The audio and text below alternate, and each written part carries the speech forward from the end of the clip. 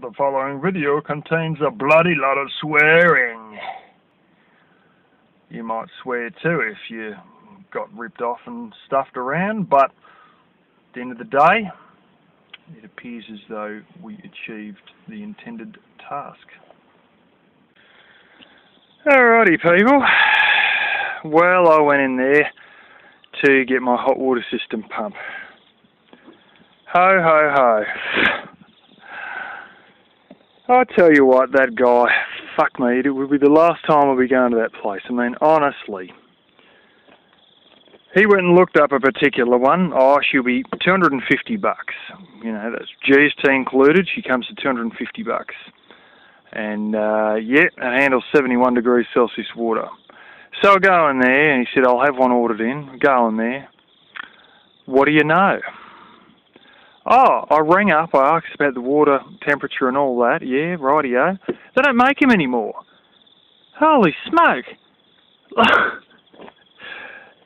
Why didn't you know this if you're the flaming dealer for them, that they don't make them anymore?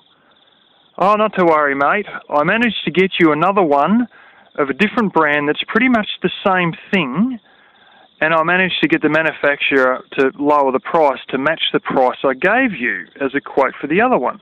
Now it was 250 bucks. I know 100% it was 250 bucks. It was 230 bucks before GST or something like that. So 255, somewhere around that it was going to be. And um, so anyway, he gets me this one here. Now, I don't know if you can see that because there's too much glare on the screen. I wanted 8 litres a minute. Well, here we are, 15.5 litres a minute at 13 amps draw as opposed to 10 amps draw and 8 litres a minute. So he's got me, there's your different models, he's got me this one here, um, which is the junior puppy. It says 18 here, and it actually says 15 at a certain height for that one. Anyway, it turns out that there is one called the mini puppy, seven litres a minute, close enough. But no, don't give me the one that's seven, eight litres a minute. Give me the one that's double that. So now I'm going to either overheat the engine trying to get it through, but what I'm going to have to do now is put a T-piece on there and a tap that feeds back into the hot water system tank. And then I'm going to have to wrap silver paper around that pipe that feeds back into the wood hot water system tank so that I can only get half of the literage a minute without overheating the engine by trying to force, you know, 15.5 litres a minute through a shower head that will only let through 8 litres a minute and then overheat the friggin' engine. As opposed to by the smaller one which did do the right amount. Then it come to the price. I made sure that, you know, I got it from the manufacturer at the same price I gave you as a quote for the other one. Well, it come to $324. So the pricks ripped me off about another $70, $74. And when it's come to it, I said, oh, you said it was 250 you know, last week. Oh, no, there's no way you have an impeller pump for 250 bucks. Do you want me to check the price? And I said, no, don't worry about it. I thought, I'm not going to sit here arguing with this dumb fucker. I mean, here he was telling me, you know, that the other one's good because it's got uh, a cooling fan and vents to cool the engine. Well, where the fuck is the cooling fan on this thing? There's nothing. She's sealed. So, you know, does it really matter that much because this model's sealed? So, you know, God blimey, I'll tell you what though oh, you want me to check the price, and why bother? You know, you're just going to argue like shit and say, oh, no, I must have got that wrong last week, and I'm going to end up paying what you bloody quoted me now anyway, you know, on something that's double the flow that I've now got to put a T-piece on and probably have the water cool as it goes back down the line if I don't wrap the whole lot in bloody silver paper. So I'm sick of it, and you know, but it's just the way it is um, in Australia. When you go to buy stuff, I don't know how many shops I've been into where you got salespeople who know less about the damn product than you do. And at the time, I've been out of a job and you got this dude who doesn't know a fucking thing about the product he's selling, and I feel like saying to him, if I know more than you do, how the fuck come you're in a sales job and I'm not? Honestly, you know, how the hell are you in your job if you can't tell me about the shit you're supposed to be selling? You know, but anyway, never mind the fact we've jumped from 10 amps to 13 amps, never mind the fact I've got to put a T-piece and feed it all back. I don't think I'm going to get the wattage uh, to charge the battery up with 20 watts. So in all this, you know, I could have got one that took a reasonable amperage. I could have got one that had not double what I needed. But in all this, I've decided to buy a 40 watt solar panel uh, to try to boost the intake because, quite honestly, like it's 20 watts when the sun's out and nice and beautiful. You don't get that on dark days. You'll be getting like 2 watts. So, you know, if I get even at this one and on dark days I'm getting, you know, maybe a total of like about six to eight watts, that'll be good enough. Um, but yeah, I bought this one as well. Um, I got fuses and uh, switches and crap for this. Um, and yeah, all the fittings and stuff, and hopefully we'll be uh, ready to set it up. But I tell you what, like, I'm just sick to death of dealing with that many times I've had one price quoted, and you go in there, and it turns out they get you a different one, and almost every time the price you were quoted last week will be nothing like what it is. So you say, I've got enough money to pay for it. You drive all the way in there and find out that, nah, you're 50 bucks short because these dickheads quote you a second price. And, you know, the customer is basically who gives a shit in this country, and it's not like the States. Not at all. Not from some things Troy told me. You know, it's you know, it's always a, a bun fight to get any money back or anything like that, even if they sell you stuff that's dud. Just gives me the shits. But anyway, that's the way it is here in Australia. Um, and you know, for shops that are good, well, you know, it opens it up a bit more for uh, people who, you know, can actually stick to their bloody word and stick to their quotes and get you something that's got right flow, not double the flow. And uh, yeah, there you go. There goes one pump. Chinese piece of crap. I'm going to put lead for the other one in. I was sort of wondering a bit, I used to have this white stuff coming up and uh, sort of looks a little bit like flux, like where the MIG welder might have been. Um, but it's right inside, and I mean right inside in a big, big way. To the point it actually looks deliberately lined. And it may be something to do with the fact it's a propane tank and the way it was uh, manufactured. There's a little bit of rust coming up there. And there. Um, I think this was an old pipe that had been used for something else or was sitting around outside for quite a while, and most of the rest of them are new pipes. Uh, but the sacrificial anode, if I can get in there, yeah, which is your one right there, that's taken the brunt of it, and that's actually eaten quite a way, a bit of it away. Uh, and the water level's gone down quite a bit. You can see it down there, but that's sort of um, yeah, just evaporated out during the summer, so we'll have to get some buckets and top it all up and move a few other bits of flipping rubbish out and uh, yeah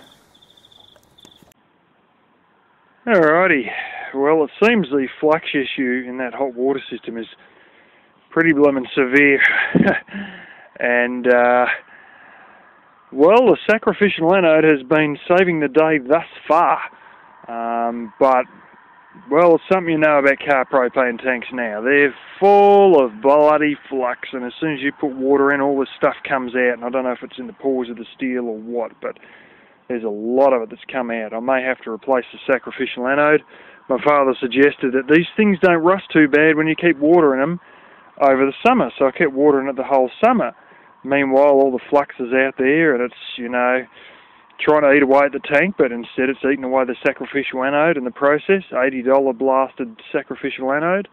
Um, So I probably should have emptied it for the summer, but generally, you know, tanks rust when they're empty, but I never expected the amount of flux and muck to come out. I knew there was a bit of stuff initially when I had it last year, but but now it's really showing up. But anyway, got this thing. Stainless steel tank. I never really worked out how this worked. I didn't know if it was some sort of a cyclonic blooming cleaner to get dirt out of water or what it was. Um, but I got the torch down there and worked it all out. Now this pipe here, it's four inches long, and then you got another foot and two inches long that it comes up to about here or something. And that pipe there stops inside here. Then this just continues on here. That isn't, that there doesn't connect back through that pipe. That is just all one piece. And so you've got like a little, yeah, piece where it sits up here. This one just juts straight into the side, and that's mild steel, which would be very nice to weld onto. Now, if I set this up correctly, um, I can have incoming water coming through here, block that off, and have a little bit of a hose or something um, down this to suck water in. What I could actually do is cover this off and have your pipe outlet to go to your shower, hook this one directly to the um, line coming from the overhead tank and then block this off. Now, fortunately, when I bought this MIG welder, I didn't use it quite as much as I expected, but it does have the ability to weld aluminium, but you've got to get a gas bottle, and they've got a few of the fittings and gas lines and that. Uh, you got to get an argon gas bottle. But what it does have is stainless steel, and all I've basically got to do is take the wire out of the uh, welder, the mild steel wire, and just put in stainless steel wire reel and feed it through the uh, line, and then off I go, and I can weld stainless. Or at least the welder can weld stainless, and I'll see how good I am at welding stainless. Um, but anyway, this is a possibility of using this because it's stainless. It's likely to be pretty flaming good. It may need a little bit of dirt washed out with a pressure washer inside there, but I can do that at some point. Uh, but this, what I'm trying to say, may be a second option. And if I was to sort of set up a fire around this, um, you know, you might be alright. What you can actually do is you can put a jacket, uh, which is sort of like a bit of, like basically have a chimney, so to speak, um, and have your thick sheet metal or something about there, just about, you know, somewhere between a quarter inch and and uh, probably more like half inch or three eighths or something away from this. And while it won't heat up through the middle, it heats up the base and all the sides. And then your smoke exits somewhere out here. Um, because your smoke is basically sandwiched in between this and where you've got your bit of chimney, so to speak, over the top of that. And that would work out quite all right. Um, not really as efficient, but then again, you're not going to have flux issues with stainless steel, I don't think, because once again, this is second-hand metal, and I don't know what it's exactly been used for either. Um, but yeah, that may be an option for the future. Turns out the pump is bronze with a rubber impeller. I thought it was brass with a rubberized impeller. Um, but yeah, that's just a bit of food for thought if the other one doesn't make it, and I don't think the other one will make it in the long term because of this uh, flux issue. And uh, yeah, bit of a bummer, but I mean, this is the sort of crap you you go through when you use second-hand steel and you're not 100% sure of the previous uses or exactly what's happened uh, previously with uh, said car propane tank. Alrighty, using the big high intensity discharge torch so we see what we're doing here with this camera. Um, yeah, that's the pump. Got me uh, fittings and crap on the side there. Uh, there's me three point bleed off. You see that white thing there, it's a tap. Uh, there's the one that goes on the right there up to your shower. Uh, I try to use vinyl between the pump and the tap and the bloody stuff just kinked. It's too weak. So I've been playing around making up like bits of wire the shape of springs to try and straighten out um, and even curve pieces of the incoming garden hose pipe. Uh, so I can curve over the top of the tank and then it wanted to curl up at the end so I had to put a bit on that to stop it from curling up so it actually got down um, you know straight in the tank um, not just curl on the side and then go hard up against one of the blooming chimney pipes or whatever you want to call it, the heating tubes, and then then just try and suck all the crap off that as opposed to draw in hot water. Um, but yeah, I got a glorious piece of Chinese shit 20 amp switch. Now when I'm trying to sit my foot on you know that bit of 4B2 there and then sort of on this piece here and then you know hold the solder wire, uh, one other bit of wire I've got to solder, a soldering iron on the wrong way, and uh, everything just turned to shit, and ended up getting too hot and melting the switch. Uh, it was a bloody cheap piece of five bucks shit anyway, uh, so you can't expect much. But I've got a cable. This is old. Um, what I was really trying to do is see that black cable there. That's actually solar panel cable and you know I needed some decent amperage. I didn't think I'd be able to do it. I didn't buy eyelets, but you can see. You can probably see there. I've soldered direct onto the battery clamps, uh, onto the oh, not battery clamps. You know what I mean? Battery terminals. Um, so yeah, that sort of worked out quite alright. Um, and the positive ones just sort of a little one going behind a bit of 4B2 there. Um, and I've just sort of got a bit of tape over the end of that and I just touched it to the end of the fuse one there. Tried to get the first fuse in and bloody half fell out and spun in my hand so then I pushed it in and then of course touched the wires together, boom, fuse blows straight away. They're 20 year old blooming fuses out of an old Skyline so you can't expect much. Um, and then put a second fuse in, bingo, worked perfect. And uh, still got to go and get that switch so that I don't have to touch wires together. You know, I can just turn on and off a little switch that's mounted either up here or behind the pump or something like that. And um, yeah, then actually, you know, just turn on and off like a normal person. But by hell, it's a flaming noisy pump, and it's 13 amps. So I've still got to muck around and put the um,